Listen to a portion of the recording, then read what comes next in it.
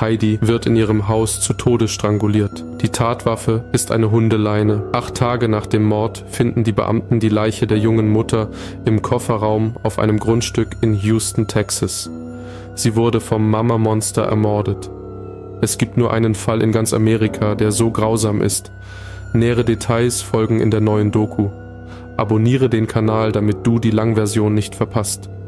Unter unserem Kanalbild ist ein Link zu einem ähnlichen Video eingefügt.